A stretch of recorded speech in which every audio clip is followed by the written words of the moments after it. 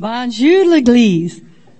That is um, good morning in Creole, church. Nous way content en pile en pile. We are very glad to see you. Very, very glad. I am Lori McGhee, and this is my very intelligent husband, Rob McGhee, and we are your missionaries in Haiti. And we are so thankful for our home church, Fairmount Christian. Uh, we are returning to Haiti after Easter to start our second year with Emmaus University. And uh, we have put a brochure in every Bible class. Um, roll call, so if you want more information about what we do there, just um, look that up for us.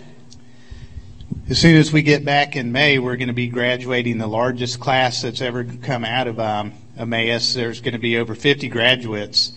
Um, and one of the programs is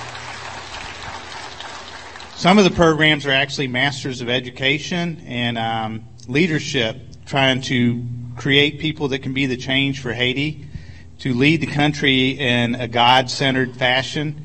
At the core of everything we do is the gospel of Christ and trying to teach the Haitians to take that out into their community and to um, fix the country. So it's a um, it's a very worthwhile endeavor, and we could not do the kind of work that we are doing in Haiti without the support of this church.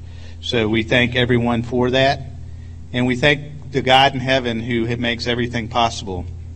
And this morning, at this time of offering, we need to look at our hearts and know that we cannot outgive God, but God has called us to give, to give of our resources, our time, and our talents. So I would just like to lift up the offering that we're about to receive and just ask that God would accept our small gift to help um, further the work that He is doing in the kingdom. Let's go to the Lord in prayer. Father in heaven, oh gracious and powerful God, we um, we just love you and we just thank you for the love that you have shown us, and we just ask that you would um, continue to guide our hearts and help us to follow in your ways and to do things that would be pleasing to you, Father God. And we thank you for your Son Jesus.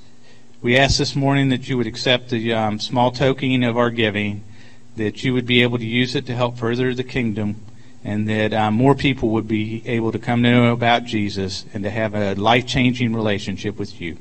It's in the name of Jesus that we pray and give thanks. Amen.